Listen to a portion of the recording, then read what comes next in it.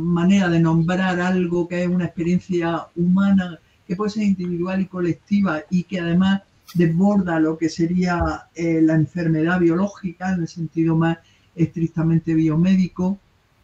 Y en esta ocasión vamos a hablar de intersexualidades, eh, vamos a tener ocasión, además de hablarlo desde la experiencia, gracias a la presencia hoy, esta tarde con nosotros de Yolanda Melero, que es una persona activista y fundadora de una asociación o una organización que se llama Caleido.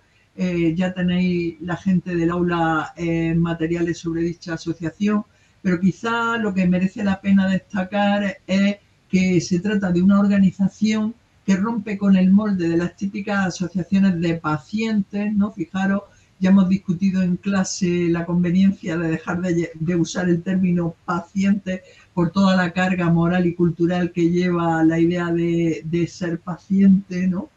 Y que sin embargo lo que plantea esta organización es el compromiso con todo el, eh, digamos, el abanico de circunstancias que rodea aquellas personas que eh, pertenecen a un colectivo que tiene como peculiaridad un cuerpo disidente con el binarismo en el que pensamos el mundo y la medicina sitúa el cuerpo de las personas, ¿no? Eh, recordaros que la intersexualidad no es tan infrecuente. Yo siempre digo que si nos hicieran a lo mejor eh, mapas genéticos de mucosa bucal, resultaríamos en un aula de 100 personas, al menos dos podrían ser personas eh, con cuerpos intersexuales, ¿no? a lo mejor menos, pero el rango ya nos llama la, ya pone el acento en que probablemente haya que hablar de diversidad corporal y no tanto de una enfermedad o una patología alrededor de esa disidencia corporal con el binarismo. Eh, de agradecer que, que, una persona activista se, se ofrezca a estar eh, en un aula y en un foro amplio y además pues tenemos la suerte de que San Fernández, que acaba justamente de finalizar su tesis doctoral eh, sobre la cuestión del enfoque biomédico de la intersexualidad y cómo poder establecer zonas de contacto donde los saberes eh, no, no, vengan solo de ese supuestamente experto saber biomédico, sino que las personas que atraviesan el padecimiento recopilan una serie de experiencias que son saberes en sí mismos, sino salimos de una visión estrecha de lo que es, saber eh, que tanta falta hace también al comprender los procesos biomédicos, ¿no? Y eh, también el marco institucional en el que estamos es de agradecer por tanto el apoyo del Instituto de Estudios de las Mujeres, porque el género y el cuerpo es una cuestión de los, de los institutos de investigación sobre estos temas y también el apoyo del propio departamento para que esta actividad, que forma parte de la docencia en esta asignatura, preocupada en general e interesada en ampliar el concepto de saber y, afrontar también con un lenguaje eh, el saber que producen las personas que tienen esos padecimientos, ¿no? Eh, pues ya digo, agradecer también al departamento la financiación de la actividad. Eh, gracias también a la Universidad de Granada y a la infraestructura eh, que el propio instituto nos ha brindado. Eh, no tengo mucho más que, añadir, más allá de, que esta conversación seguro que nos va a hacer pensar sobre nuestros propios cuerpos, sobre nuestros propios padecimientos, incluso sobre la idea de activismo en sí misma y de las posibles relaciones en esa zona de contacto entre eh, esos supuestamente o verdaderamente expertos para la, cultura biomédica y las personas que son expertas en sus propios cuerpos, ¿no? Eh, muchísimas gracias y, cuando queráis ya explicáis un poco el formato que vamos a seguir. Vale. Em, muchas gracias, Rosa. Eh, buenas tardes, Yolanda. Eh, bueno, lo primero, eh, reiterar los agradecimientos también a Rosa, no solo por la presentación, sino también por todo el impulso a este ciclo, que ya ha tenido otras sesiones en el que también ha participado Dresda Méndez, que también le quiero agradecer desde aquí, y también por tu trabajo, Rosa, en torno a, bueno, a crear esta matriz en la que estamos trabajando otra gente, ¿no? Así que, bueno, que gracias por todo esto y, eso nos sitúa hoy aquí en un escenario en el que lo que estamos tratando de hacer es eh, plantearnos eh, si todo lo que tiene que ver con el lenguaje de la medicina o lo que ha acaparado el lenguaje de la ciencia y la medicina como pueden ser las intersexualidades, eh, necesita realmente de otras voces para, poder eh, abordarlo, ¿no? Y también para abordarlo desde el punto de vista que diríamos habitualmente técnico, ¿no? Eh, vamos a romper aquí justamente con esta división entre lo que sería técnico y lo que sería popular, ¿no? Lo que sería también el activismo y la academia, ¿no? Por eso estamos aquí dialogando y, con otra serie de binarismos que para nosotros siempre eh, eh, conectan mucho con los binarismos de género, ¿no? Todas estas fronteras del conocimiento donde cada cual ocupa un lugar muy claro y cada cual solo puede hablar de una cosa y nada más de una, ¿no? Bueno, eh, Yolanda, estás aquí por muy diferentes motivos, no solo como activista intersex, que por supuesto que sí, como persona con una trayectoria además ya dentro del activismo, si quieres ahora mismo puedes comentar tú, misma que, bueno, que hay, hay mucho trabajo detrás, eh, pero también como profesional. Y, creo que eso es importante justamente para romper los términos de la conversación, ¿no? no ni, como legue, como lega, ni como experta, como lega y como experta a la vez, ¿no? Como, no, no nos sirven estos términos de repente para, para presentarte y para hablar del por qué estás aquí hoy, ¿no? No sé si quieres comentar algo sobre, sobre ti antes de, empezar la conversación. Mm, no, yo creo que está bien así, me ha gustado esta presentación, Sam, así porque realmente, claro, ¿no? A veces cuando nos hacen, nos hacen entrevistas, ¿no? Desde los medios de comunicación, ¿no?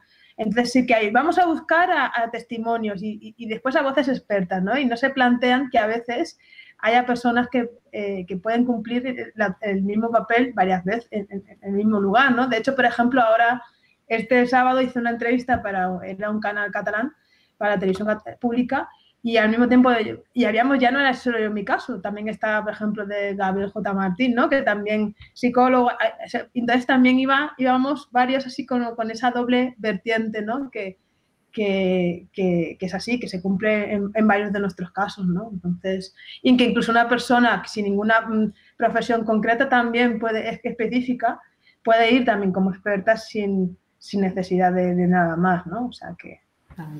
Parece muy importante esto que dices que traes del testimonio, ¿no? Porque justamente lo que vamos a hacer ahora en adelante es romper con, por lo menos con la lógica con la que habitualmente se escucha todo lo que encasillamos en bajo el, el, epígrafe de testimonios, ¿no? Bueno, pues una persona que vendrá a contarnos algo que tiene que ver con su experiencia, y eso está bien, pero que no es experto, no, es, no está fundamentado suficientemente, ¿no? no tiene un conocimiento detrás, un saber detrás, ¿no? Entonces, bueno, pues a, eso, a esa ruptura es a la que, la que vamos a adentrarnos. Bueno, yo, eh, hablando con Yolanda ayer mismamente, le proponía comenzar hoy de una manera un poco diferente, porque decíamos, bueno, esto evidentemente lo que está esperando la gente es que hablemos de salud, que hablemos de cosas que tienen que ver con la medicina, ¿no? Y yo le decía, pues justamente por eso que es más pertinente que empezar hablando de cultura, ¿no? Entonces, eh, como mm, quería hacerle la pregunta típica de, explícanos qué es esto de las intersexualidades, pregunta número uno de, cualquier entrevista, ¿no? Le proponía, bueno, en lugar de explicarnos así qué son las intersexualidades, ¿por qué no nos cuentas la historia de eh, algún alguna personaje, alguna persona que tú creas que es importante para, eh, la, para una historiografía intersex, para una genealogía intersex, que, tenemos que tener presente en lo público, ¿no? porque eh, hay algo ahí que está aportando. Pues, pues es curioso, cuando, cuando pensé en esta pregunta, ¿no? cuando me la dijiste y tal, de repente empecé, empecé a pensar personajes históricos, Herculín o, o Alexina, lo, típico, ¿no? y de repente dije, no, estamos en nuestro contexto, sea, para mí una, persona muy importante que deberíamos eh, eh, rescatar y que, que, sea muy importante es el caso de María José Patiño, que es alguna persona intersex de nuestra historia reciente, aparte de esa amiga mía, eh, y que además salió en los medios de comunicación español, que fue un caso muy, muy, muy sonado en, en, su época. Y yo creo que como que me parecía algo como mucho más importante rescatar eso que, que, otras situaciones que igual nos quedan más lejos, o por lo menos a mí me quedan más lejos, porque esta de alguna manera yo le he hablado con ella personalmente, ¿no? Entonces, qué mejor, ¿no? Que rendirle ese homenaje y poder hablar de, su caso para la gente que no lo conozca, porque me parece muy potente lo que ella, lo que ella vivió. Ella en el año, estamos hablando del año 85, se fue a, fue, era, ella, ella era atleta, atleta había ganado el campeonato de España de atletismo de, creo, de salto de vallas o algo así de vallas. Yo no soy una tendiana de atletismo, pero creo que es algo así. Y entonces, eh, estando allá, le hicieron, allí, imaginaros, está en Japón, ¿vale? Las pruebas creo que en Kobe, una ciudad de Japón, la Universidad de Kobe. Y estando allá le hicieron una prueba de género, era la segunda que la hacían, la otra la había salido positiva en, dos años antes en España, eh, porque de hecho ganó el campeonato y le hicieron, se ve que la, una prueba cromosómica y ahí salió que era XY en esta prueba. Eh, pues eh, bueno, no pudo presentarse a, a, al, al, campeón, a estos campeonatos. En esa época mm, justificaban que una lesión. Bueno, la, la, historia es que después, en unos campeonatos en España, a poquito tiempo volvió a competir y desde la, y, desde, la, desde la, selección española, bueno, desde, desde quien coordinaba a nivel de España, ¿no? Le, no le dejaron, eh, le dijeron, o sea, la amenazaron para que no compitiera. Ella compitió, no la dejaron y entonces sacaron a la luz el, el, el, sacaron a la luz a través de la prensa, filtraron a la prensa información médica de ella, que, que eso no se podía hacer, ¿no? Eh, vamos, además, lo, eh, ella lo dice, ¿no? José Patiño lo dice, ¿no? Que, lo que le dijeron al médico directamente a la prensa fue, Pati es un tío, ¿no? Y en la prensa, pues eso es lo que se reflejó. Imaginaos, en, eh, era, en esa época había muy pocas atletas eh, mujeres, muy poquitas. Era una de las pocas, ella tenía una beca en donde estaba solo, o sea, ya como mujer era, entonces era, creo que era bastante conocida y tal. Y claro, salió todo eso en todos los medios de comunicación, se, eh, fue humillada, se le quitó la licencia, se le quitaron la beca. Eh, mm, o sea, fue horrible para ella, porque toda su vida se le fue, encima había muerto su hermano el, el año antes, toda su vida se le vino abajo. Y ella, ella tiene síndrome de andrógenos, igual que yo, eh, entonces ella, en lugar de doblegarse y, decir, pues, pues vale, ¿no? Me dedico a otra cosa y dejo mi sueño, luchó, ¿no? Luchó por ello, denunció, mm, fue al Comité Olímpico Internacional, entrenó hasta que al final pudo volver a competir. Y, pudo, y, de hecho ella ahora está de asesora en el Comité Olímpico Internacional, es profesora de la Universidad de Vigo, además es la española, creo que ha publicado más en varias revistas internacionales de, de deporte, de ciencias del deporte. O sea, quiero decir que, pero fue tremendo, o sea, fue tremendo. Además, creo que sale esto que sales en las tertulias y todo el mundo daba, hacía, le daba la razón a la federación, ¿no? Que, que era un hombre que como, todas estas cosas, ¿no? Porque tenía una I ahí en el cromosoma, ¿no? Y de hecho, de luego ella pudo demostrar que no tenía ninguna ventaja eh, con, con, con, el resto, porque si vas andrógeno al revés. En, en, todo caso, te cuesta más generar músculo, ¿no? Porque hay una, entonces pudo demostrarlo y pudo recuperar, pero toda la prensa, todo se le echó encima, bueno, hubo muchísima gente que dejó, hasta su novio la dejó, porque ella no lo sabía, ella no, los deportistas de élite, las deportistas de élite, perdón, no tienen el periodo, o sea, no, no, no lo tienen por, por, todo el entrenamiento tan duro que, que, hacen, entonces ella no tenía ninguna otra eh, señal, ¿no? De, su corporal, entonces ella no, se sorprendió igual que el resto, ¿no? O sea, no es que estaba ocultando algo, es que ni siquiera ella misma sabía pues que, su condición, ¿no? Sabía que era insensible a los andrógenos, que era intersex. Entonces me parece un caso como muy, muy potente y muy bonito, ¿no? Para, contar y, muy, y también muy fuerte, ¿no? Lo que ella tuvo que, pasar en su día y toda la lucha que hizo. Exactamente, es un, como lo cuentas, es un buen ejemplo también de, de proceso de estretización, ¿no? Como ella llega como atleta y se acaba convirtiendo en una asesora especialista en temas intersex en el ámbito internacional. Es decir, eh, acaba defendiendo los derechos de, las personas que tienen corporalidades biológicamente distintas a las esperadas, ¿no? En términos de, hombre y mujer. Eh, me, parece muy interesante porque no fue nunca lo que ella fue a hacer allí. ¿no? Es... Y también cómo cambiaron las pruebas del sexo, porque cuando ella llegó allí todo el mundo pensaba que era una mujer pero es que anteriormente eso se verificaba de una manera y justo cuando ella llega a Japón había cambiado la manera de, comprobar cómo eras mujer o no eras. Entonces ya era con, el, con la prueba salival y los cromosomas, ¿no? Y en esa prueba ella no era una mujer de verdad, porque tenía una hija. Dos años antes sí, dos años antes sí, y, y, tuvo mala suerte porque se le olvidó llevar la, se le olvidó llevar el, el, papel de la otra prueba que hizo dos años antes, donde sí que la pasó. El Entonces, por eso, el certificado de feminidad, es que, es que suena de risa, ¿no? O sea, que tienes que llevar, o sea, a ningún hombre le hacen pasar por un certificado de masculinidad. O sea, es que es, es de risa, ¿no? Entonces se le olvidó y tuvo esa mala suerte porque, claro, ella en ningún momento, ¿sabes?, le daba su importancia, ¿no? Claro, porque no le damos, es como, ah, y, fue curioso, ¿no? Entonces, allí ella en Japón se tuvo que volver, creo que hasta tuvo que pagarse el billete de vuelta, o sea, una cosa humillante a más no poder, ¿no? Como si hubiese hecho un crimen o algo así, ¿no? Lo que hablamos, lo que hablas tú de los cuerpos disidentes, ¿no? La violencia que hay, ¿no? contra todos los cuerpos que no encajamos, ¿no? Con, con, con lo que se espera, ¿no? Claro. María José Patiño, como dices, eh, sería una persona que eh, clínicamente tiene aquello que se denomina síndrome de insensibilidad a los andrógenos, ¿no? Pero bueno, no sé si quieres comentar que esto es un paraguas más amplio, ¿no? Que intersex. ¿De dónde viene la palabra intersex realmente? Claro, la palabra intersex realmente la trajo, la trajo la medicina, igual que la homosexualidad, la transexualidad fueron términos que los instaló la medicina. Lo curioso es que ahora, por ejemplo, la intersexualidad ya la medicina le ha cambiado el nombre, ya eh, se llama DSD, DSD, anomalías del desarrollo sexual. Bueno, ahora le quieren ponerle diferencias porque lo hemos dicho, pero aún así siguen a nivel científico con anomalías.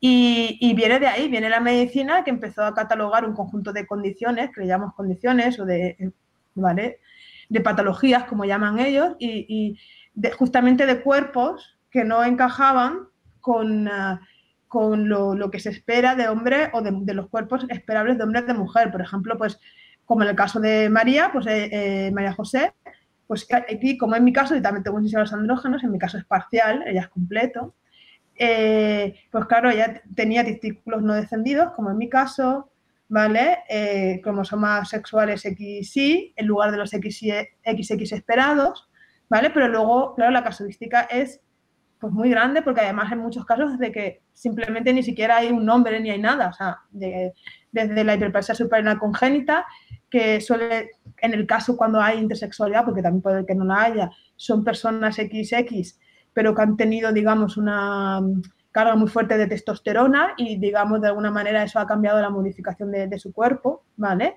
Eh, sobre todo a nivel externo, ¿no? Y, sí que pueden tener, por ejemplo, digamos, eh, pues un, pene o, o, más grande, o depende del caso, porque la variabilidad es tremenda. Desde muchas personas que se identifican, por ejemplo, con el eh, sexo o género masculino, ¿no? que, por ejemplo, no tienen el aparato, lo que son los genitales externos típicamente masculinos con la uretra en la, que da a la punta del glande o que no tienen descendidos los testículos.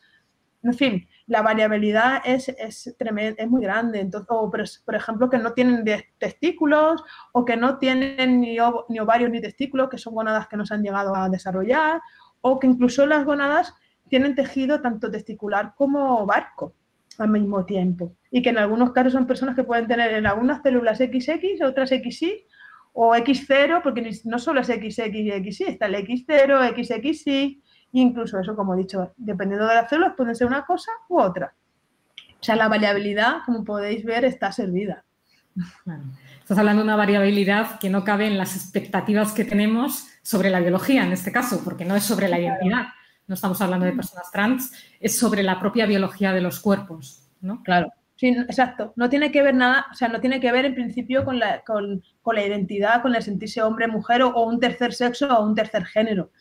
eso es independientemente de la intersexual. Hay personas intersex que se sienten binarias, se sienten binarias, no binarias o binarias, o, que han podido hacer una transición, pero la intersexualidad en sí no tiene que ver con eso, o pueden ser heterosexuales, o, homosexuales, o bisexuales, o asexuales, es decir, o eso, pero la intersexualidad únicamente se refiere a, al cuerpo, características corporales.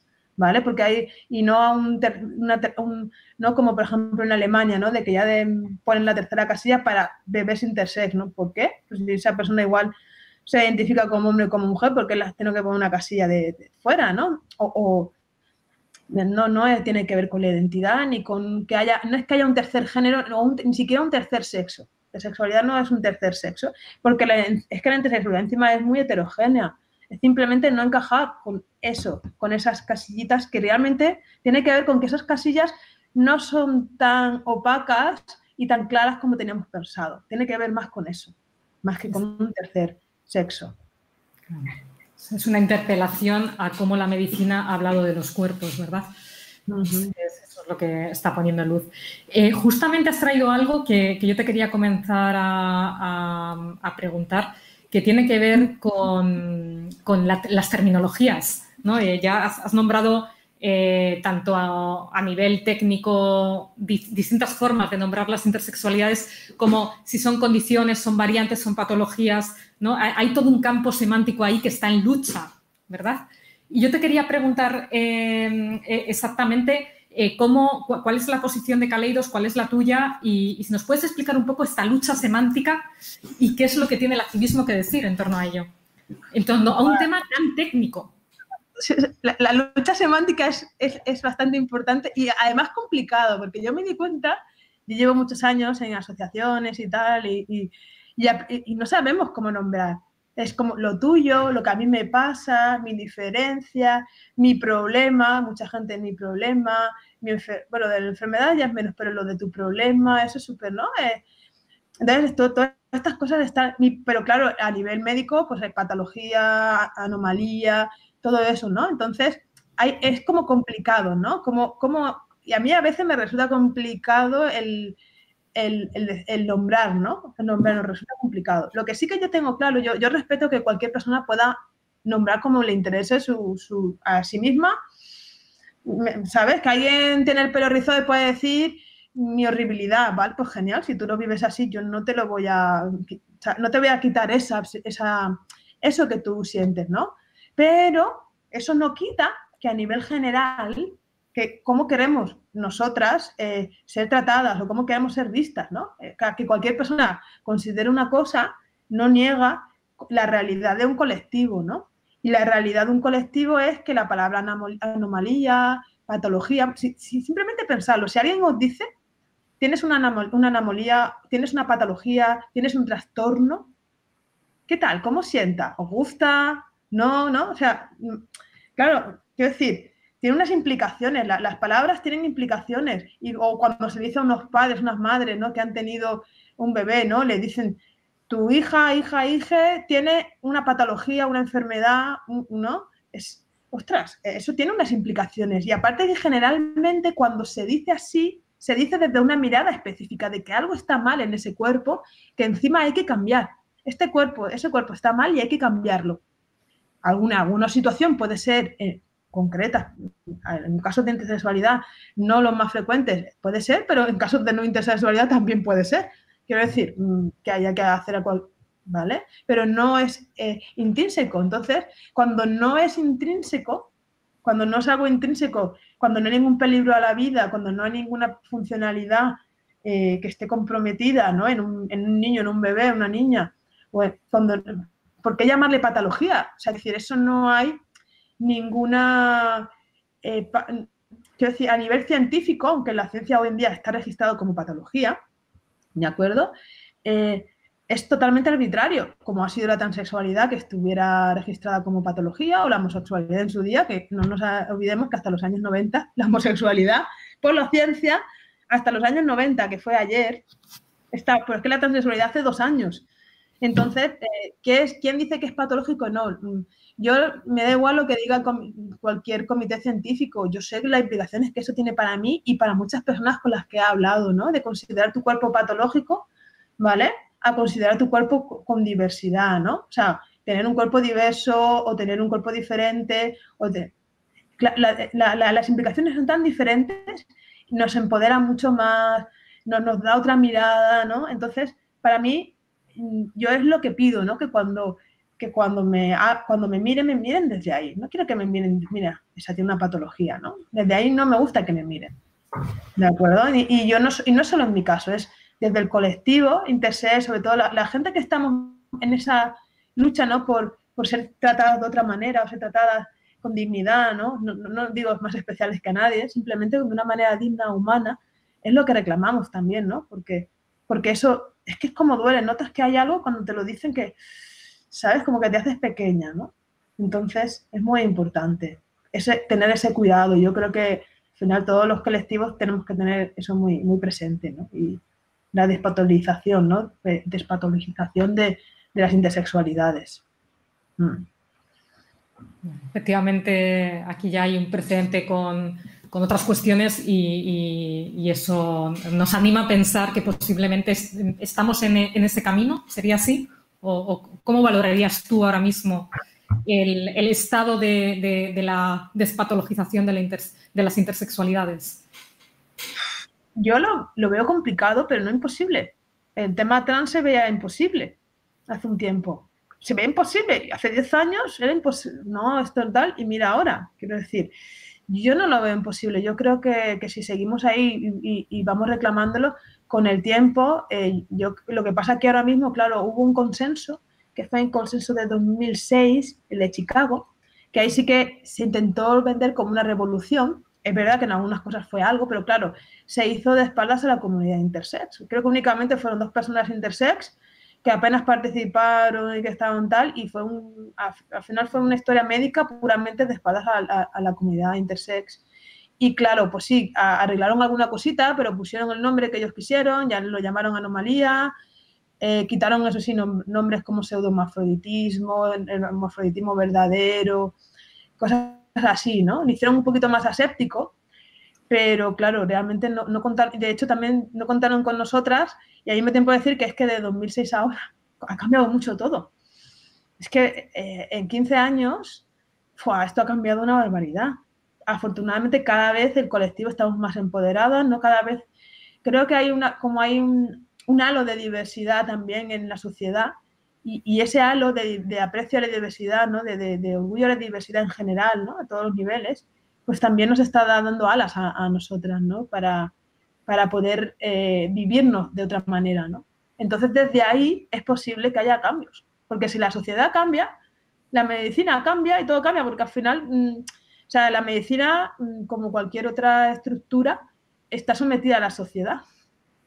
Entonces, si la sociedad cambia, la medicina cambia, ¿no? O sea, si no cambia, al final lo, sufrirá, ¿no? De alguna manera, o sea, eh, tendrá consecuencias, es, es de no vas a morir, ¿no? Como dicen. Entonces yo, irremediablemente, si vamos cambiando, la medicina se adaptará a ello, no tiene más. De hecho, está pasando, ¿no? Ya vemos muchos cambios en el sistema médico, que hay reticencias.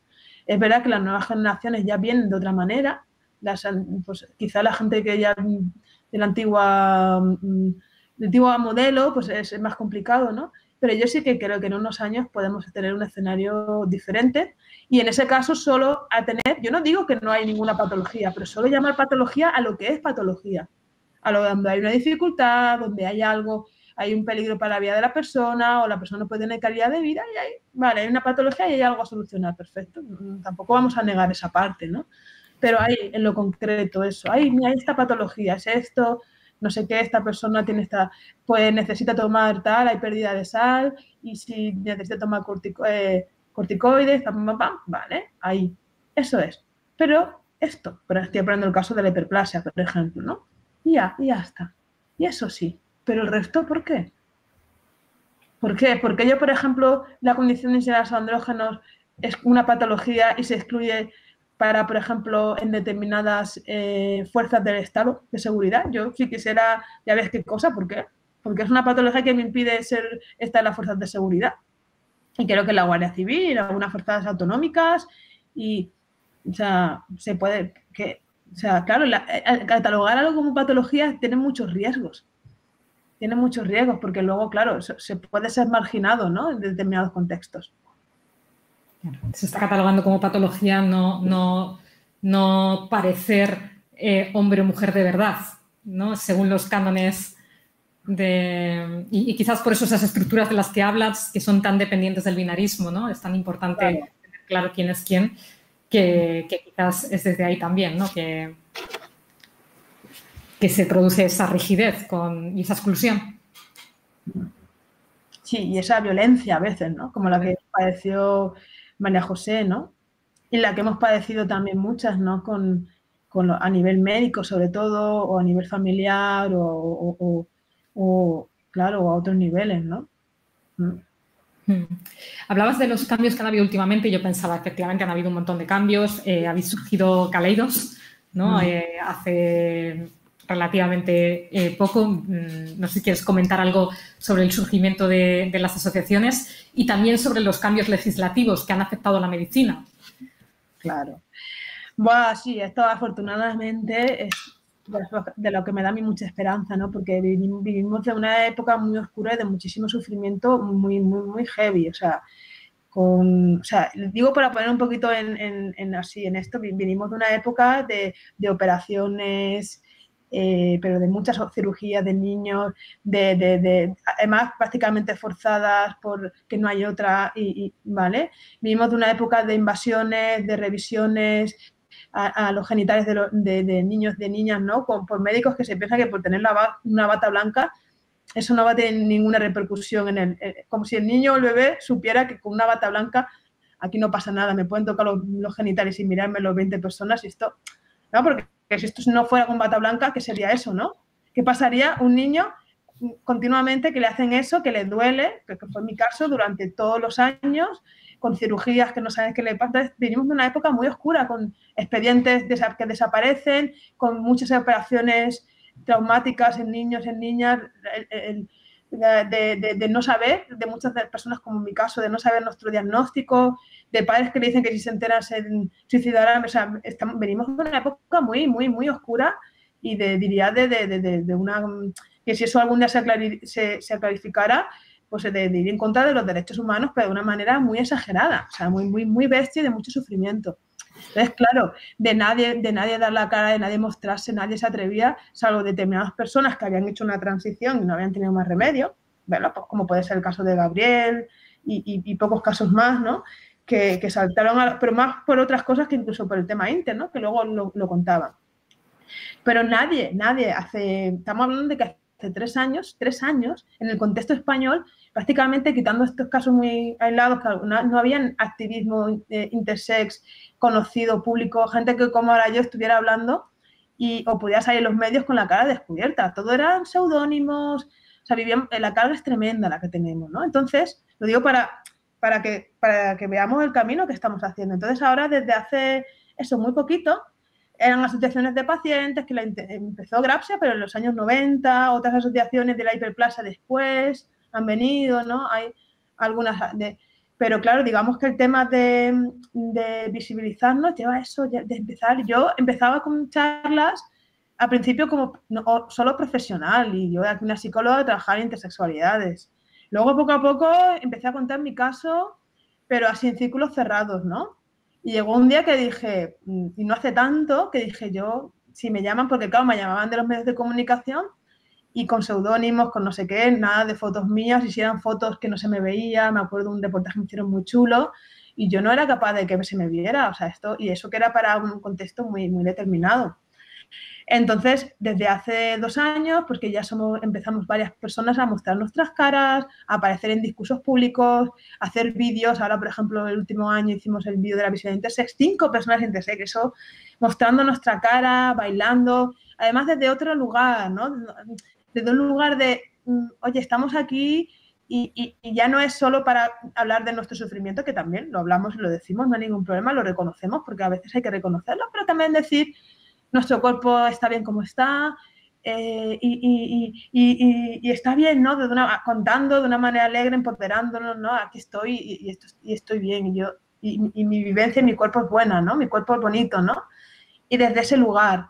Y eso está cambiando desde hace dos años que empiezan a haber otras personas un colectivo que ya estamos haciendo eso. Se formó Caleidos también justo por esa más o menos, han venido otras asociaciones también, a, nivel del ámbito canario, sobre todo, Caminar Intersex, a nivel ámbito andaluz, que está Crisol, eh, y, bueno, también está Inter, aunque no es exactamente una entidad, pero está floreciendo algo que antes no estaba todo esto, ¿no? Y esto es algo súper, súper importante, algo que, que, no está. Entonces, claro, ¿cómo vamos a poder ser visibles? ¿Cómo vamos a poder, la gente, cómo vamos a crear referentes si no somos visibles? Si no hay nadie que, si, si todo es ideas, pero no hay nadie que muestre la diga, ah, pues es una persona, ¿no? Imaginaros en el, en el ámbito trans, si no hay nadie que, que, no hay ningún referente o en el ámbito homosexual, no se puede seguir, no, sé, no estamos bloqueados, ¿no? Entonces, afortunadamente, estamos dando ese paso. Ya eh, cada vez hay más personas. De hecho, hemos creado un grupo de visibles, ¿no? que está coordinado por Caleidos, en las que tenemos tanto madres y padres que dan la cara, que no se quedan ahí escondiditas, como antes, ¿no? De, hoy mis padres se lo dijeron solo a mis tíos, es que ni mis abuelos, ni sus padres lo sabían, ni sus hermanos. Y ahora tenemos padres y madres que están contando, están dando charlas. Eh, tenemos personas que, por ejemplo, de veintipocos años, que dan charlas, que se muestran, por ejemplo, aquí incluso en, Valencia, Mirella el otro día de una charla espectacular, ella delante de, un montón de gente. O sea, esto, mm, es eso, esto hace unos años era impensable, porque al revés, ay, que no se enteren, ay, vale, nos juntamos, eh, nuestra gente sí, pero luego casi ni a nuestros amigos se lo decíamos. Entonces, claro, ahora estamos haciendo un, salto muy grande que eh, yo espero que esto sea el principio, ¿no? Pero realmente eh, está siendo como un poco una revolución, ¿no? Dentro del ámbito intersex, eh, que, digamos el, activismo antes era, pues bueno, nos juntamos y hacemos apoyo y eso está genial y está fantástico, porque una sola, pues claro, está perdida y ahora, vale, estamos, vale, eso también está muy bien, fantástico, y aparte vamos a crear referentes, vamos a enseñarnos, vamos a enseñar a la sociedad qué somos, cómo somos y cómo queremos ser tratadas y miradas, ¿no? Realmente, incluso vamos a formar a los diferentes colectivos, tanto el colectivo eh, sanitario como también otros colectivos, como el colectivo incluso de la diversidad, que no nos conocían hasta hace nada y que aún nos tienen mucho que conocer, ¿no? Todo el colectivo LGTBIQ+,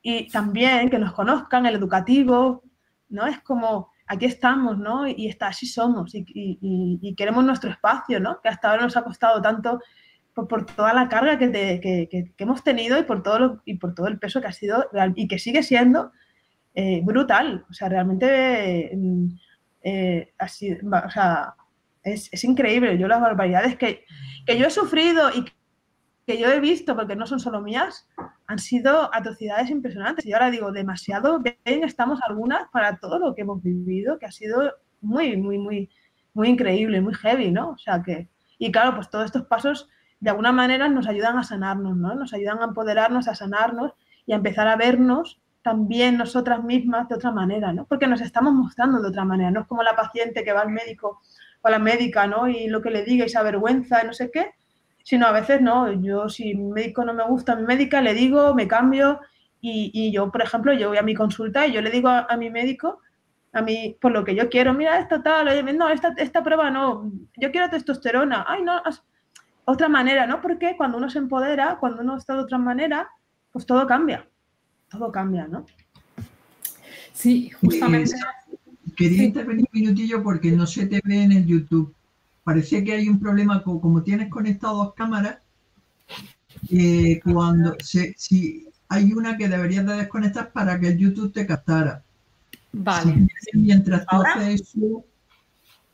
Creo que tengo eh, conectada solo una cámara. Ahora ya, ¿puede ser? No, sigue sin verse. Mm, pues tengo, estoy exclusivamente en la sesión de Jitsi, en la interna.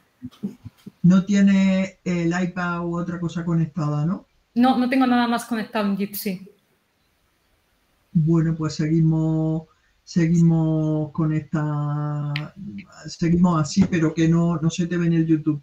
Yo te veo eh, en la sala virtual, pero no se te ve en el YouTube. Pero sí quería nada más que hacer un comentario, porque realmente, tal y como lo plantea Yolanda hoy, mm, me ha dado mucha luz para entender que si eh, digamos, salir del armario del cuerpo diverso, por decirlo de alguna manera, eh, está siendo uno de los últimos armarios que podemos salir, es porque eh, la gente con esa diversidad corporal está ahí, de alguna manera, desmantelando uno de los valores y creencias más centrales que constituyen el sujeto, ¿no? El sujeto profesional que cree desde luego en que solo hay dos cuerpos y que la tarea es meter al cuerpo en, uno de esos eh, cajetines y desde luego a la sociedad en su conjunto que realmente eh, no acaba de comprender eh, que la diversidad también puede ser desde el cuerpo. Entonces creo que también hay que poner en valor y me parece que es el saber también que,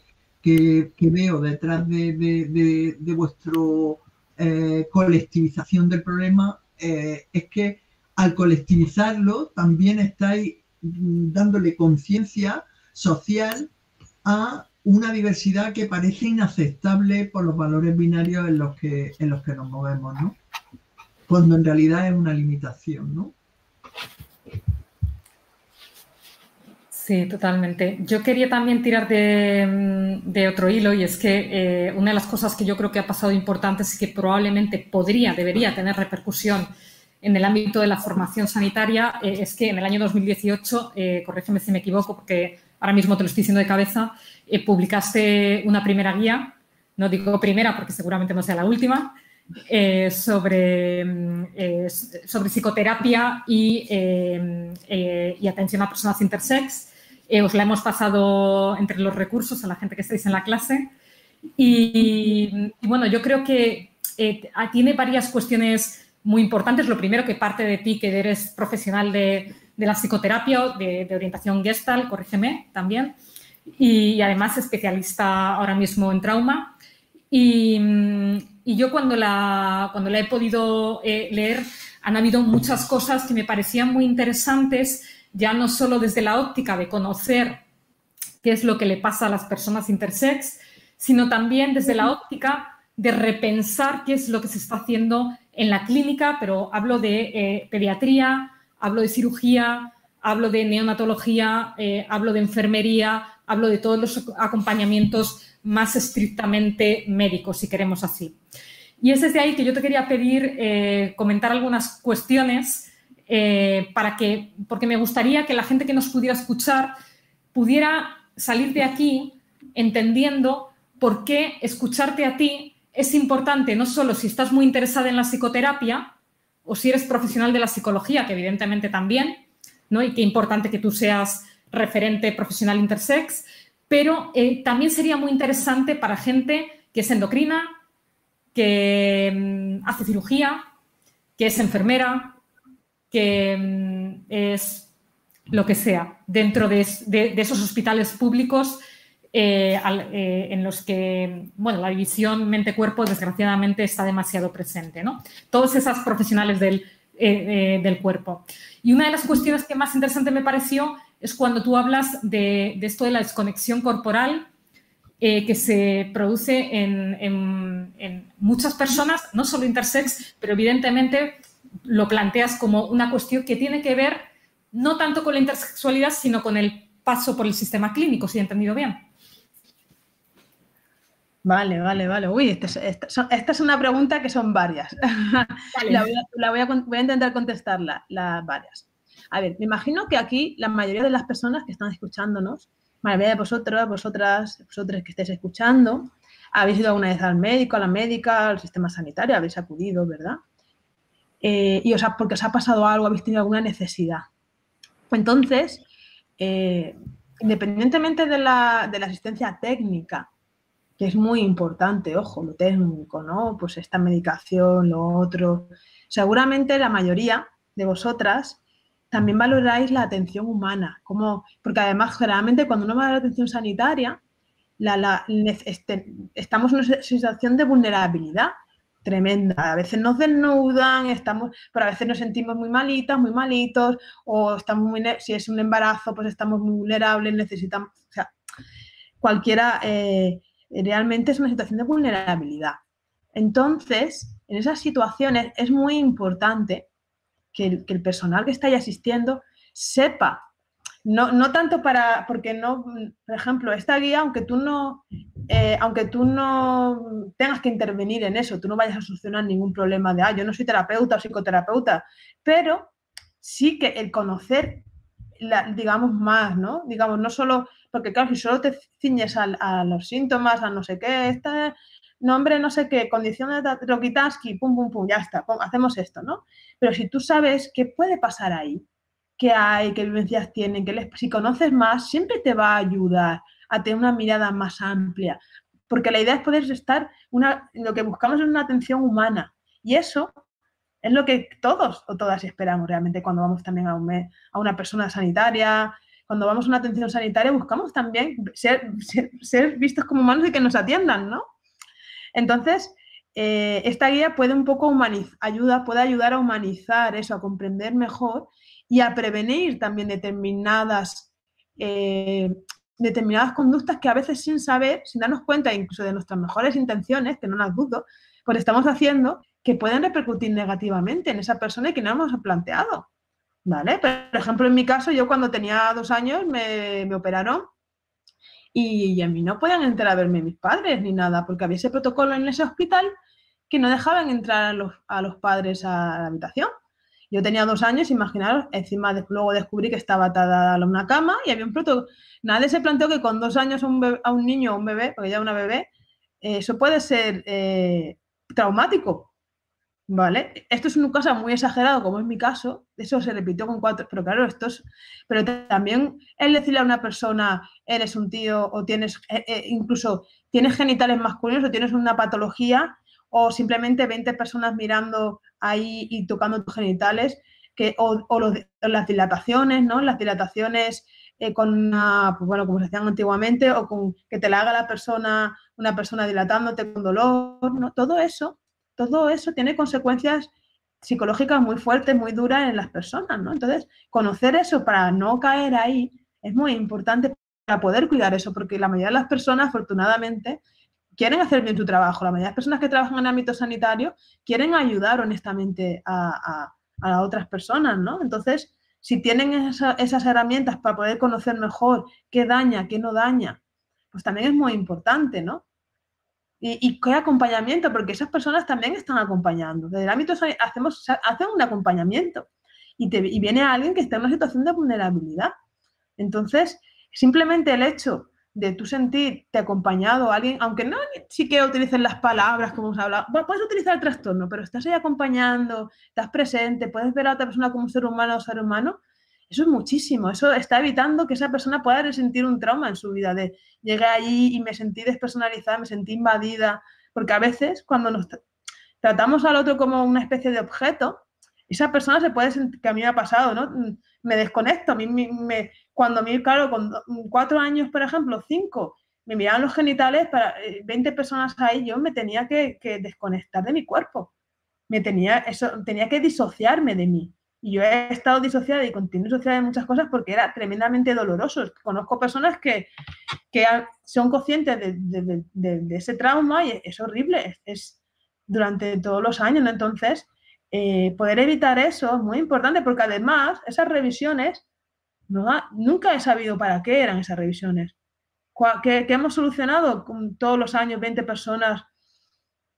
O sea, no, sé para qué. ¿Para qué me operaron con cuatro años haciendo una operación de nueva? O sea, quiero decir, tantas cosas, ¿no? O, no decir, o no mirarme a los ojos cuando yo lo pregunto, ocultar, ¿no? Hay tantas cosas que son muy traumatizantes y a veces las profesionales lo hacen con su mejor no, para que al revés, vamos a evitar que se traumatice y que no sepa nunca nada, pero ahí están pasando cosas. Y hay secretismo y hay mucho peso, entonces, si conocemos lo que está pasando, es mucho más fácil poder obrar de una... Si lo tienes claro, es mucho más fácil saber cómo obrar, es más fácil saber el camino y poder hacer mejor tu labor, ¿no? Que al final yo creo que todos los personales tienen esa, ese interés, ¿no? Entonces, creo que eso es muy, muy importante, ¿no? El, poder saber qué está pasando y que, de lo que yo hago, qué consecuencias puede tener en el otro o en la otra persona, ¿no? Porque, claro, si no estamos haciendo daño sin darnos cuenta, ¿no? Desde el desconocimiento, como nos pasa a todas, ¿no? A veces no nos damos cuenta que estamos agrediendo a alguien y de repente te dicen, mira, estás agrediendo, como por ejemplo el machismo. El machismo a veces no se hace de la mala intención, es que está tan dentro, de repente una, una misma nos cuenta, nosotras, hostia, si hicimos machismo, mira esta mirada, y cuando te das cuenta lo puedes situar y puedes hacerlo de otra manera, ¿no? Y eso es lo interesante, realmente. Entonces, por eso esta guía, aunque es para psicoterapeutas, también puede ser muy interesante para, en general, el público en el público en general para poder ver qué hay ahí, ¿no? Y poder dar luz a eso, realmente. Vale, y no sé cuál era la otra, porque había otro matiz que me habías preguntado, ¿me lo puedes recordar? A ver si me acuerdo. La verdad que no me acuerdo. Pero... ya está, lo damos, lo damos por preguntando. Lo damos por contestado. Entonces, si te viene, si te viene de repente, me lo dices. Sí, totalmente. Porque ahora, ahora te estaba escuchando y estaba diciendo, claro, eh, estás hablando, por ejemplo, has sacado el caso de las exploraciones genitales en relación a esto que yo te había preguntado de la desconexión ah. corporal o la disociación corporal. Claro, eso es la disociación. Eso es, quería ver un poquito más de la disociación. Eso es. He dicho un poquito, por ejemplo, claro, cuando a mí me revisan genitales todos los años que hacía, y supongo que al principio más veces, para mí eso debe de ser un impacto terrible, porque yo, o sea, de verdad que yo es como que yo siento que yo era, a mí no me lo hacían a mí, que lo hacían a otra persona, ¿no? O sea, y esto es el principio de la disociación, y esto no es solo las personas intersex, como tú has dicho, pasa eh, es uno de los principios de las experiencias traumáticas. Cuando es algo desbordante que no puedes, que te desborda, es como que, mm, digamos, como si eso se guardara debajo de la alfombra y eso no existiera. Pero claro, eso es una, es una defensa que va muy bien porque es que si no mm, te destrozaría, ¿no? A nivel psíquico. Pero claro, eso tiene un componente que luego es una carga. Tú pierdes. Yo por lo menos me he dado cuenta que yo en mi vida, claro, eh, a la hora de relacionarme con los demás, me ha costado más a la hora del sexo, ¿no? De disociarme de, cuando me tocan esas partes o cuando contesto con eso, es como me ha costado mucho, o me ha dado mucho miedo, o he sentido como si ahí no, como si no fuera una parte de placer, o como si o como si no hubiera nada casi, ¿no? Porque es como, es que entrar allí es muy doloroso, ¿no? Porque ahí ha habido mucho, entonces mejor desconectar, ¿no? Desconectar del propio deseo. Las personas intersex es muy típico. O sea, claro, nosotros en nuestro deseo, la sexualidad, nos, nos conecta justamente con esta parte, ¿no? Con nuestra diferencia, con nuestro cuerpo diferente, y no solo con nuestro cuerpo diferente, sino con las vivencias que hemos tenido de invasión en ese cuerpo, no, porque el cuerpo diferente en sí no es traumático, ¿no? Pero las miradas, incluso las miradas que han habido a ese cuerpo. Entonces conectamos con eso. Entonces, claro, conectar con eso es muy duro. Aquí no pasa nada. Entonces, desde ahí hay muchísimas personas que escuchas como, oh, no, no pasa nada, y te hablan de operaciones, de historia, de no sé qué, como si nada, o que no se lo cuentan a nadie y viven como si eso no, pasara nada. Yo he vivido así mucho tiempo de mi vida, como casi sin darme cuenta de, de que no tenía la regla, que no sé qué, de repente sucede eso y es como, ostras, te viene todo encima, ¿no? Pero vivimos como con esa lucha, ¿no? Hasta que ya por fin podemos darle pues, un espacio, que es el que tiene. Esto fue, y, y ya está, es un pequeñito espacio en mi vida y pueden haber otras cosas más y puedo conectar con mi cuerpo y, y tal, ¿no? Pero, pero esto es muy, muy, muy patente las intersexualidades. De hecho, cuesta mucho que la gente venga a las asociaciones porque, claro, como estamos tan disociadas, pues, claro, ir a una asociación y, hablar del tema o que alguien... Es que te carga mucho, te, te rompe la disociación, entonces es, es, muy duro, ¿no? Entonces mucha gente contacta, pero se va. Nos ha costado mucho eh, alzar nuestra voz también por eso mío, porque nos contacta con todo esto. Entonces, claro, es difícil revivir, contar nuestra historia, es como revivir otra, es como una persona que ha sido violada, cuéntame tu historia, ¿sabes? De, violación, entonces así es, ¿no? O que has tenido un accidente de, coche tremendo, volver a recordar eso, ¿no? Y a nosotros nuestro cuerpo nos conecta con eso irremediablemente, ¿no? Es una pena, ¿no? Porque nuestro cuerpo no tiene que ver con eso en la realidad. Nuestro cuerpo es, es libre de pecado, ¿no? Por decirlo así. Es, todas las experiencias que hemos vivido y todas las miradas que hemos tenido. ¿no? Tú estás hablando de, un cuerpo y una carne que, es la que tenemos todo el mundo, que acumula experiencias, ¿no? que no pasa mm. por el mundo como si nada, ¿no? que todo lo que ha pasado anteriormente, de alguna manera, eh, eh, está ahí, ¿no? pese a, mm. bueno, pese a los mecanismos que tenemos cada cual para, para separarnos de eso. Claro, a mí me parece muy importante esto que tú estás trayendo y, me interesó mucho cuando lo leí en la guía, también porque recordaba al mismo tiempo a profesionales de la salud que para algunas intervenciones suelen hablar de que el objetivo de las intervenciones genitales muchas veces tiene que ver con justamente que la persona pueda tener acceso a la sexualidad o pueda disfrutar de la sexualidad o pueda tener relaciones sexuales completas, como se le suele decir. Y claro, a mí eh, leyendo, em, bueno, para la gente que, igual no está tan puesta en el tema y, no nos está siguiendo, muchas de las intervenciones, no, no en todos los casos, pero involucran, pueden involucrar, por ejemplo, creación de neovaginas, o sea, reconstrucciones vaginales, reconstrucciones externas de los genitales, es, decir, mucho, eh, em, mucho paso por el taller, ¿no? Para entendernos.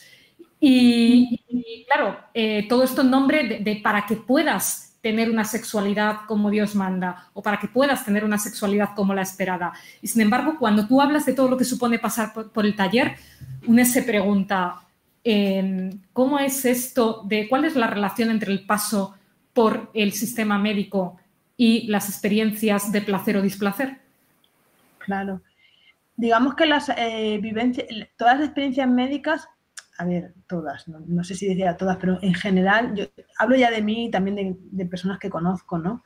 De, claro, eh, las cirugías no son inocuas, las cicatrices no son inocuas, eh, quiero decir, estamos asociando un cuerpo a dolor, a sufrimiento, se asocia, o sea, y eso es algo inconsciente. Es decir, y vamos a poner, si a tú en tu brazo, si en tu brazo te han operado 15 veces, ¿tú con qué vas a asociar tu brazo?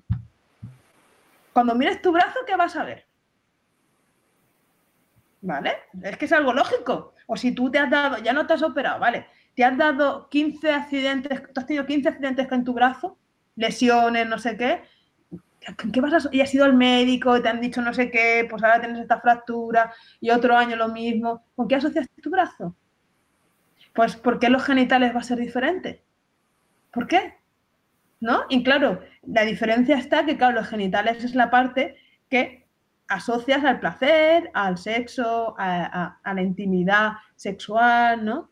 Que ya bastante, ¿sabes? Entonces, que ya bastante es con no encajar, ¿no? Con decir, ostras, no encajo en ese, en ese cajoncito, la mirada, el rechazo que tú puedes estar, para encima haber tenido toda esa trayectoria anterior, ¿no? de, de, sufrimiento, ¿no? De, dolor, de, que han tocado ahí en otro lugar. Yo no digo que no se tenga que hacer en, manera cuando sea totalmente imprescindible o cuando la persona lo pida y quiera. Oye, yo quiero operarme de, yo me quiero poner pecho. Pues si tú quieres, ponte. Pero ahora un médico que te diga, opérate de pechos porque así vas a tener mm, mejor sexualidad, ¿no? O sea, dirías, ¿qué me estás contando? Pues yo no tengo pechos, pues ya lo, si yo quiero me pondré pechos, ¿no? O, me los quito. ¿Me, me explico? Pero claro, cuando tú has sido sometida a, eso, a todo eso y si tu cuerpo es visto desde ahí, y, sobre todo cuanto más niña, como en mi caso, es peor, ¿no? Porque ya hay una... claro, cuando tienes menos recursos. Cuando uno es más pequeñito, más pequeñita, tiene menos recursos y el trauma es, más fácil que ocurra porque te desbordas más fácilmente porque no, no, no sabes sostenerlo. Entonces estás asociando de manera inconsciente una parte de tu cuerpo a eso, ¿no? Y entonces tú el placer Claro, es muy difícil. Si te tocan tus genitales, miras tus genitales y de alguna manera conectas con todo eso, tener placer, fluir, dejarte llevar, pues claro, hay mucho peso ahí, ¿no? Ahí, ahí con todas esas operaciones está, está eso cargado, ¿no? Entonces, el placer es todo lo contrario, es dejarte llevar, digamos, el sexo es la fusión, no es el abandonarte, ¿no? Para que tengas un orgasmo, ¿no? Dicen que es el abandono, ¿no? Es, es, lo bonito, es, ¿no? Entonces, que esto es lo que le pasa, por ejemplo, a las personas que han sufrido violaciones también asocian el acto a eso. Entonces tienen, o tienen, por ejemplo, eh, sexo compulsivamente, o lo evitan, o, tienen, o sea, que es lo que nos pasa también a, nosotras muchas veces, justo porque asociamos eso en nuestras partes íntimas, nuestros genitales, nuestra zona, con eso. O sea, es, algo muy lógico, quiero decir. y, y, además es que es lo que nos está pasando, lo que a mí me ha pasado y a muchas personas, ¿no?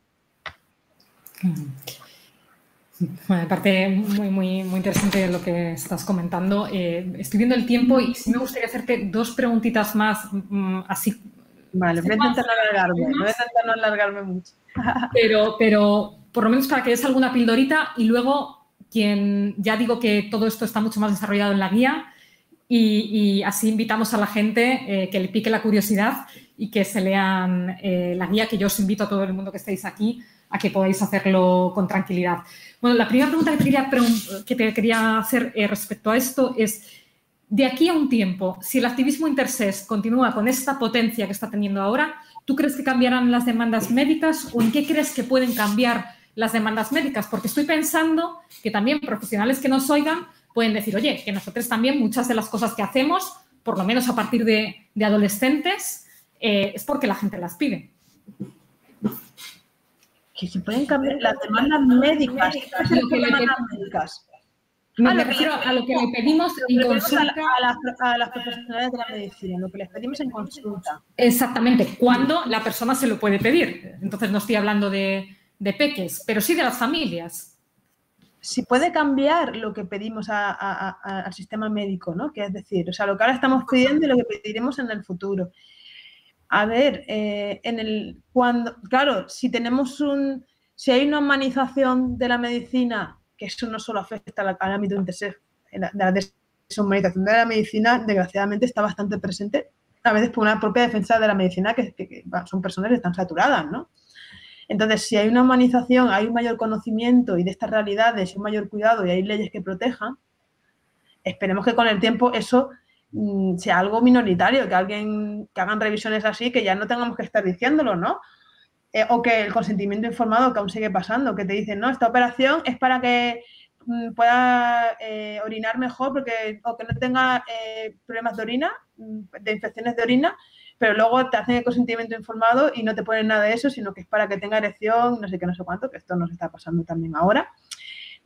cosas así, ¿no? Por ejemplo, porque a veces se justifica mm, una cosa, pero realmente lo que se busca es la otra. Y, de eso que se está, está justificando tampoco hay ninguna evidencia. Porque claro, hacer una cirugía, sí, no, para qué tal, pero ¿hay alguna infección ahora, por ejemplo, no? ¿O hay algún problema con que orine ahí, estamos, ¿vale? O, entonces, todas estas cosas, claro, a mí mi sueño es que eso en el, en el futuro, fíjate, mi sueño es que el aspecto médico que es como yo lo vivo ahora, pero a mí me gustaría que eso fuera mínimo.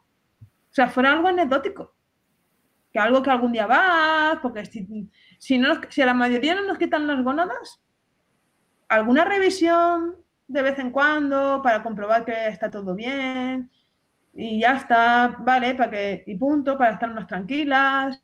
Eh, y en el caso de que haya una estipación de gónadas o que las gónadas no, sean, no, no, produzcan, digamos, hormonas sexuales, pues un tratamiento hormonal y que te haga un seguimiento como cualquier persona y, poco más, ¿sabes? O sea, la demanda es, pues oye, que, me, que ya está y, poco más y, es decir, que sea algo que, sea mm, anecdótico, que en el ámbito médico, en el ámbito de, de las intersexuales sea algo anecdótico como mira, mira, no te preocupes, esto, un apoyo y, poco más, ¿no? Como no sea tan grande, ¿no? Esa sería, para mí yo creo que el futuro sería ese realmente. o sea, realmente, la medicina parece que ocuparía, seguiría teniendo un lugar, pero ocuparía un lugar mucho menor. Claro, yo no necesito la realidad pequeñito y además, eso, una parte pequeñita, sí y para finalizar, justamente te quería preguntar por el, aspecto de los duelos que tú hablas en, la guía y te quería preguntar específicamente qué, ideas crees que tienen que soltar las profesionales que, quizás ayudaría a, abrir esa, esa atención, ¿no? ¿Qué duelos tienen que hacer las profesionales también? Pues mira, justamente van en línea de lo que hemos hablado ocupar menos espacio, ocupar menos lugar de poder. ¿De acuerdo? Porque en la, en la medicina cada vez es verdad que va cambiando, pero aún sigue ¿no? esta cosa directiva de yo soy, yo estoy al mando, yo soy la que dice y cómo ha de hacer y qué se ha de hacer y, la que dirige en todo momento. Hacer un lugar que también ha pasado en psicología y cada vez hemos hecho yo, por lo menos desde la humanista, ¿no? de un lugar de acompañante. Tú eres el que está guiando tu vida. Yo no te voy a decir a ti qué tienes que hacer, ni si eso está bien o está mal tú decides, yo te voy a, acompañar para que tú decidas y te voy a dar, con lo que yo sé, que tengo un conocimiento científico que tú no tienes, te voy a acompañar. Pero soy según, yo estoy, yo, estoy ahí de, acompañante, soy, ¿sabes? Entonces, claro, eso es un duelo para, para, sobre todo la medicina, que vienen desde un lugar pues como de, voy a salvar la vida de alguien, ¿no? Voy a, yo le voy a curar, ¿no? Esta cosa que viene, yo voy a curar a la otra persona sí, y, pasar esta cosa de yo acompaño, de una parte respeto. Claro, es un duelo porque realmente es verdad, mm, hay, que hacer un duelo ahí, ¿no? De un lugar que tuve a otro.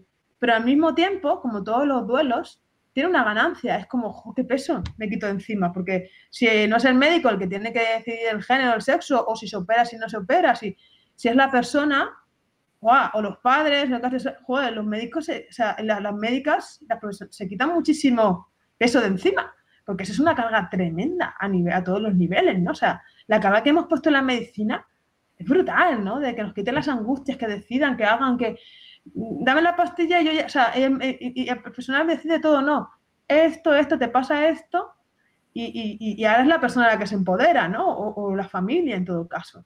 Entonces, ese es un duelo muy importante, ¿no? Que, han de hacer las profesionales médicas, ¿no? Soltar ese, ese, lugar de poder y de endiosamiento y poder tomar un lugar de acompañantes, pero también mucho más cómodo y más ligero, realmente, ¿no? Para mí creo que ese es el, principal duelo que, que, hacer, ¿no? Y también soltar determinadas creencias, evidentemente, las que han ido funcionando, de determinados modelos del cuerpo, determinados modelos de la sexualidad, que también son duelos a hacer, ¿no? De, que eso todas las personas estaría bien, no solo hacer, ¿no? De que la, la sexualidad es solo penetración, ¿no? Las, relaciones sexuales completas son esto de, o, han de ser heteronormativas, o de los cuerpos, todos esos son duelos, hacer a, ideas, expectativas, ¿no? Que, que, que, tenemos nosotras mismas y que hemos de hacer también, por, ya no solo por la relación con, con la otra persona, sino por nosotros, porque sufrimos. O sea, realmente por esas creencias, sin darnos cuenta, estamos sufriendo, porque al final no nos disfrutamos. Si estoy cansada, por ejemplo, y, puedo tener sexo de una manera diferente con mi, y me apetece otra, un abrazo, igual a ver qué surge, pero no como, si tenemos hay que llegar hasta ahí, ¿no?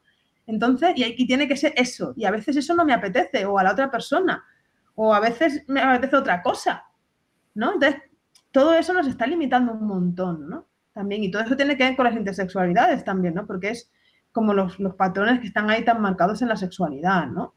Entonces, esos duelos son importantes porque después nos pueden dar una riqueza mucho mayor, ¿no? De, para relacionarnos también y para estar de manera diferente, más ligera y, estar de otra manera, ¿no?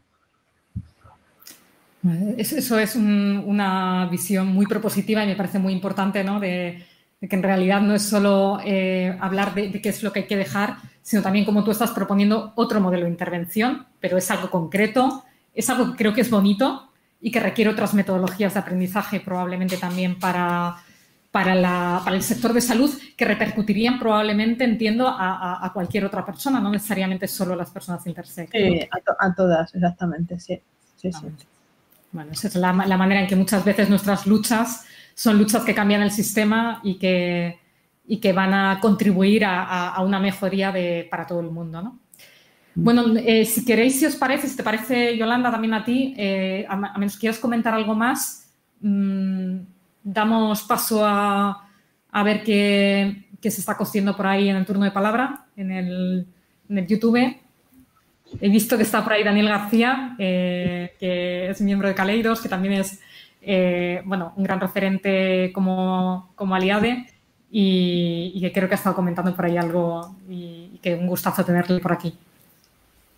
Si queréis, voy pasando las preguntas y, también invitar al alumnado del aula que o bien intervengan por vía esta del aula virtual o bien, eh, o bien pasen la pregunta por el chat del GC pero sinceramente necesito hacer un par de preguntas, ¿no?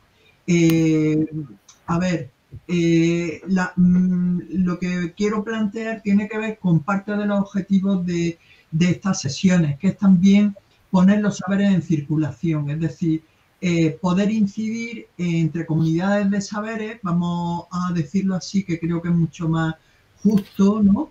Que normalmente no se hablan, ¿no? Entonces, esto es importante también para poder dinamizar ciertas cuestiones y que no sigamos cada cual en su propio ámbito, ¿no?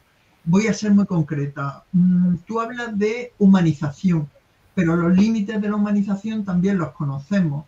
Entonces, mm, solo con humanizar a los profesionales de la medicina con cursos de humanización médica que hay en las instituciones, vamos a conseguir transformar sus prácticas, esa sería una cuestión. La otra es muy práctica. Hemos trabajado algunas veces en clase el libro de Marta Yue, que te recomiendo porque fue una persona, no es intersex, pero yo creo que también hay problemáticas que tienen muchas afinidades.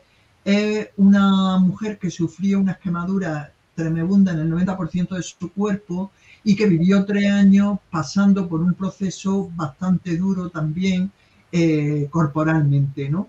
Y de, esa, de ese trabajo suyo personal y ese padecimiento brutal surgió un libro que se llama Perder la piel. Yo creo que ese libro es de las cosas, bueno, de hecho va por no sé cuántas ediciones y realmente será por algo, ¿no? Pero hay una cuestión muy importante. Ella hace una serie de reflexiones sobre un momento como el que tú has planteado de la exploración ginecológica, ella lo plantea en el baño y hace una serie de propuestas a los profesionales, entiendo, aunque lo que está haciendo es describiendo su sufrimiento. Me gustaría preguntarte si tú, niña de dos años, de tres, de cuatro, de, adolescente, pudiera hablarle desde la cátedra, digamos, desde, ¿no? desde la autoridad a ese grupo de médicos que te exploraban, ¿qué les dirías? ¿No? Porque eso creo que es importante a la hora de poder eh, intentar cambiar los comportamientos, ¿no? Ahora paso a las preguntas de Dani, ahora cuando... Vale. Eh, bueno, primero digo lo de la humanización, aunque sea muy brevemente. Claro, la humanización, la humanización te da una mirada, ¿no? Porque si tú puedes ver al otro y ves sufrimiento, dices, ostras, aquí puedo hacer, ¿no? Aquí está, ¿qué está pasando? Pero a veces lo que pasa en general que cerramos, que no vemos ese sufrimiento, nos pasa a todos, a todas con eso, ¿no? Entonces, lo que también he hablado ahora es de las creencias. También hay que hacer un cambio de, creencias, ¿no? Que es lo que justo he comentado ahora mismo. Pero si yo tengo esta visión de tal, no, no, es que esto es así y ya está. Y cuando nuestras creencias son muy rígidas, generalmente, pues no, nos impiden, aunque hagas mil cursos de humanización, da igual. Si tus creencias son muy rígidas, un hombre es así, una mujer es así, punto, ya, el sexo es esto, tal, tal. Mm, claro, pues eso te impide, ¿no? Y, eso, y hay, que, hay que hacer un trabajo, ¿no? También. Entonces, lo que yo le diría a, esos, profesionales, eh, primero les, diría que les hablaría de las consecuencias que tienen esas, que, puede tener eso en esa niña. ¿Vosotros creéis que tal, que cual, que una, esperarla para qué? O sea, les, les diría eso les diría de las consecuencias que va a tener en esa, en esa niña el, operarla, el que se lo pregunte, se lo explicaría, incluso les preguntaría, les, les, hablaría de esas consecuencias tan terribles que tiene esa conducta de una niña de dos años, por ejemplo, de cuatro, que no sabe, que no tiene ninguna enfermedad y de repente está en un hospital sin sus padres y que la han, ya, sin, ¿sabes? Que esa, les, diría de, les hablaría de eso y les diría porque la mayoría tienen hijos que, les parecería, ¿no? Eso, no sé, les hablaría de ese sufrimiento, les diría, les, diría que, les, haría reflexionar, ¿no? De, que ese cuerpo no hay nada, no hay nada malo, en, no hay nada malo en ese cuerpo, en esos cuerpos, que en ese cuerpo, que no tiene ningún problema de salud, y les diría con los conocimientos que sé ahora que no hay ninguna, porque que no hay, que el riesgo de malinización, por ejemplo, cuando me quitaron la, es muy bajo, ¿no? y que, en, por ejemplo, en el, caso de, de, SIA parcial, ¿no? de de andrógenos parcial, y que no hay ninguna razón para que se quite a dos años, y, les explicaría, primero les, daría tanto técnico, en, refutaría a nivel técnico y luego también de sufrimiento de lo que están haciendo, ¿no? Para que sean conscientes. Eh, eso, eso es lo que les explicaría eh, mm, para que supieran, porque si una persona sabe, de verdad. Después a veces es muy difícil hacer cosas, ¿no? Porque, ostras, cuando ya sabes, pues ahí ya sí que tienes delito, ¿no? Porque si no sabes, si tú has ido a fastidiar a alguien sin darte cuenta porque no sabías que se le sentaba mal, bueno, pero cuando ya te lo está diciendo y, lo haces sabiendo que a la otra persona le duele, pues eso ya eso es mucho más grave, ¿no? Entonces les explicaría eso y les explicaría de, la consecuencia. Y el no saber no puede tener también un fundamento emocional de los propios profesionales, es decir, un bloqueo emocional de no, de no apercibirse de, de la diferencia corporal como una defensa frente a tu propio estatus, identidad profesional, etcétera? Claro, porque hay una visión, hay una cosa en cirugía, por ejemplo, ya aún más fuerte, ¿no? De, de, de, hay un cuerpo y ya está, ¿no? Y hay, esto quiere ser cambiado y ya, no hay visión más allá, ¿no? Generalmente, no se plantean nada más. A veces, ¿no? Y, y a, no digo todas las personas, o a veces ni se lo quieren plantear porque, que, ah, joder, ¿sabes? Un cirujano plantearse, ¿sabes? Es, duro, ¿no? Entonces, es como una defensa también. Ellas mismas se hacen esa, esa protección, ¿no? De alguna manera. Pero claro, si vas a salvar una vida, está genial que te hagas esa protección. Porque, oye, lo que vas a darle, es, o si le vas a dar calidad de vida a esa persona, fantástico. Joder, protégete, no tal. Pero claro, si no vas a dar ni calidad de vida, ni vas a proteger la vida de esa persona, ni nada, y vas a crear todo, esto, pues claro, hay, hay, hay, hay, hay que poner luz a eso, ahí esa, esa, eso no sirve. Voy a pasar, muchas gracias por la pregunta. Eh, voy a pasar algunas preguntas eh, que se han producido en los chats diversos, ¿vale? Por una parte, bueno, Daniel García López, que también ha trabajado sobre cuestiones intersexuales desde el derecho y el discurso del derecho y la biopolítica, entonces, bueno, nos hacía preguntas muy concretas. Dice, eh, piensa que en discursos como los de Amelia Valcárcel, consejera de Estado, que planteó que la intersexualidad es una minoría, eh, eh, se pueden producir eh, limitaciones de los derechos, es decir, que ese tipo de discursos pueden limitar el desarrollo de normativas que defienden los derechos de las personas, ¿no? Era un poco su planteamiento a ver qué pensaba. Claro, sí, pero es una minoría, pero si se calcula más o menos que lo que está en torno al 1,7%, si calculamos eso en España, esa minoría somos como la ciudad de Valencia entera que somos, somos 800.000 personas en toda España. Eh, que esas personas, ¿sabes? O sea, quiero decir, eh, que más o menos ahora lo que yo tengo entendido, el porcentaje, por ejemplo, de las personas trans está al 0,3, que yo creo que es de, eh, más o menos, de 1,7 al 0,3 y estamos con esta mogollón que tenemos la de la ley trans. Y, y, no decimos, no es que son una minoría, sino al revés, van a destrozar el sistema y no sé qué, del feminismo y son un 0,3, ahora el 1,7 es una minoría. ¿Sabes? Bueno, pues somos casi, y somos 800.000 personas, pongamos que yo creo que somos más, y las familias y las personas cercanas que también sufren y padecen. Entonces, igual ya no somos tan pocos, ¿sabes? Y todas las personas que no tenemos diagnóstico, ¿no? Que claro, exactamente. Entonces, eh, ¿sabes? O sea, por minoría que sea, aunque sea una persona, aunque fuera una persona, habría que hacer algo con ella. Sí, bueno, yo creo que la pregunta era por denunciar, ¿no? Amelia Valcárcel también eh, ha, manifestado su transfobia. Eh, es una persona, sin embargo, que a nivel político tiene, está en el Consejo de Estado, con lo cual, pues, es una asesora, ah, produce mucho asesoramiento legal. Yo creo que la pregunta de Daniel iba más en el sentido de, de reflexionar sobre qué personas concretas en un momento dado son decisivas para que no se desarrollen normativas de defensa de los derechos, ¿no? Porque utilizan argumentos de este tipo. Claro, ¿no? es un argumento que no tiene sentido, igual que, no, ¿cuánto, si es que al final, ¿qué pasa? ¿Cuál es el porcentaje de personas de otras razas en España? Son pocas. Ah, no, pues da igual, no, no vamos a, podemos hacer lo que queramos con esas, como son pocas, ¿no? O de las personas desahuciadas, o de, la, o sea, o de las enfermedades minoritarias, bueno, como son pocas, da igual. O sea, es un argumento que no tiene sentido. O sea, no, no, no, no que hay por su propio peso. A ver, hay otra persona, Cira López, que dice, aprovechando que eres intersex y psicóloga, ¿cómo crees que influye ser activista en el modo de afrontar determinadas situaciones, como por ejemplo la falta de respeto al personal sanitario, del personal sanitario? ¿Cómo influye la falta de respeto? A ver, que tengo que pensarlo un poco. Piénsalo, piénsalo. Claro, a ver, la falta de respeto, claro, es lo que he explicado antes, si tú vas con vulnera en una situación de vulnerabilidad, que ya te sientes sin pisar ahí, ¿sabes? Estás ahí, ¿no? a todas nos ha pasado, estamos, y, de, y, encima viene alguien que te falta el respeto, te, te, te dice, te, te, habla mal de ti, o si tú le dices algo, ¿no? Entonces, claro, eso aún, eso es lo que puede causar una situación de trauma, ¿no? De que te puedes desbordar, o de repente te, dice, pues tú eres, me imagino, ¿no? Yo soy, eres un hombre o eres un, tú eres lo que eres es un tío, como además eso salió en un episodio de, del médico este, ¿no? Es, tú eres un hombre, ¿no? Se lo sacó ahí, ¿no?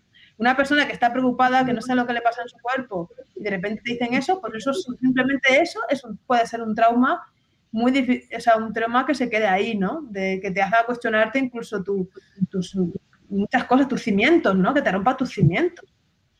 Creo que la pregunta iba por el modo de afrontamiento, o sea, por, eh, si lo he entendido bien, como eh, para, a la hora de afrontar esas situaciones de falta de respeto, ¿cómo ha influido el que tú te sientas activista? Ah, vale, no lo había entendido. Hombre, mucho. Yo ahora, por ejemplo, yo veo, yo veo a un médico, yo ya veo a la médica y ese es suya, yo estoy aquí, yo tengo mi información, ella tiene la suya o él tiene la suya, y él me dice tal, pero a mí ya no me importa tanto, ¿no? O sea, yo ya, yo, yo, tengo mi, mi, bagaje, ¿no? Ya no voy ahí en defensa, porque cuando una está sola, va allí y, el médico te, te, lo va a decir todo, ¿no? Piensas, pero cuando tú estás ya en información, en grupos, tú sabes lo que hay, ya te has plantado, como en cualquier aspecto, tú, tú ya vas, ya vas de otra manera sí, te apoyas, ah, esto que me aporta, lo reflexiono, no es que vas cerrada tampoco, pero vas con tus ideas y vas acoplando y hay una, un diálogo. Entonces no estás vulnerable. Y al no estar vulnerable, la situación cambia totalmente. Y si esa médica o el médico no te gusta, pues te vas a otro. Y ya está, ¿no?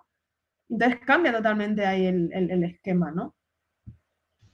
Hay una pregunta que, eh, porque quizás asumimos que, que, que se saben eh, cómo van las cosas cuando eres una persona intersex, pero es verdad que Juan José Aguilera, que es un alumno de la materia, eh, dice, ante el nacimiento de una persona intersex y una vez se ha producido una conversación entre el médico y la familia, ¿quién tiene la potestad para redirigir hacia un sexo determinado? Es decir, a determinar si será chico o, chica por X o por Y. Esta es la pregunta. Esa pregunta casi siempre la hacen, es súper curioso, casi siempre. Eh, teóricamente, en teoría, la familia tiene la última palabra. La familia decide, en teoría. Esto es a nivel teórico, pero claro, una familia que no tiene ni puñetera idea de lo que está pasando, que no tiene información, que no está en grupo, que no tiene nada, de repente tu hija, hija, tiene una patología, hay que operarla, no sé qué, esto, no sé cuánto. Eh, eh, claro, tú no tienes ni idea. Eh, ¿Qué vas a hacer? No, no, no, yo considero que esto es así o asá. ¿No? Si esa persona no tiene una, al final, ¿qué va a hacer?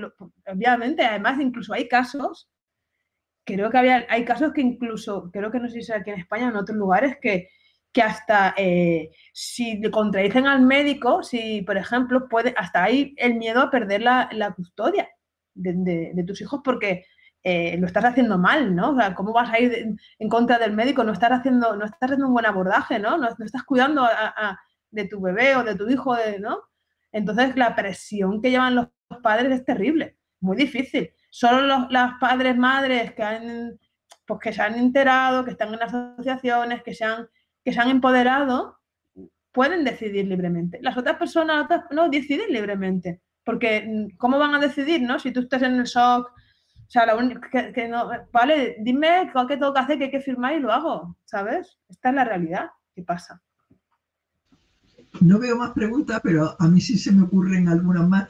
Y una de ellas es precisamente si en tu experiencia eh, has notado que ciertos profesionales eh, por algunas circunstancias eh, muestran más empatía o más capacidad de entender la posición de un cuerpo que es diverso que otro. ¿Y cuáles serían esas circunstancias? Porque esto es algo que en el trabajo de, investigación de Sam quedó patente que había ciertas personas entre las que entrevistó que por unas peculiaridades que ella puede explicar si quiere en el caso de su entrevista, pero me gustaría saber también si tú crees, a ver, es también por esto de desagregar ese bloque de los médicos, los profesionales, que además siempre los ponemos claro.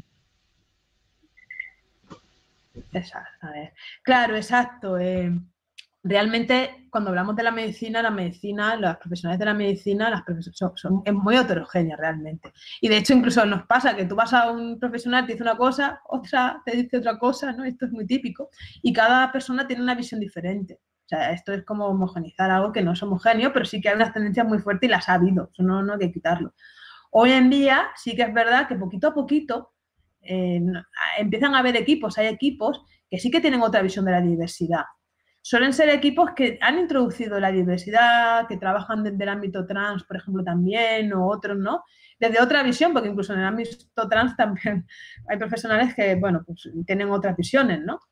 pero sí que empiezan a haber equipos que, se están haciendo ya diferente, que tienen otros protocolos, que ya no hacen revisiones, que, eh, que, tienen otra visión y sí que los hay. Sí que es verdad que eh, luego hay cosas dentro de estos, de algunas de estos profesionales que también eh, pues podemos ayudar a, esas personas a que se den cuenta de determinadas cosas que no se están dando cuenta, ¿no? Porque tú, tú crees que todo está maravilloso y luego te dicen, ah, ostras, pues esto ostras, que esto aquí se puede construir o dar caminos también, ¿no? Porque o ellos mismos necesitan ayuda, porque también nos han transmitido, nosotros estamos haciendo ahora eh, reuniones con, desde Caleidos, ¿no? Con, eh, con profesionales médicos, médicas, y, nos, y, nos, transmiten eso, que se sienten solos también, solas, ¿no? Que, eh, que, que, igual van a otros profesionales y también tienen dificultades, ¿no? Que, que tampoco saben muy bien cómo hacerlo, que y que también nos necesitan y que necesitan también una, red, ¿no? O sea, que ellos también tienen una vulnerabilidad muy, muy fuerte ahí en esto, ¿no?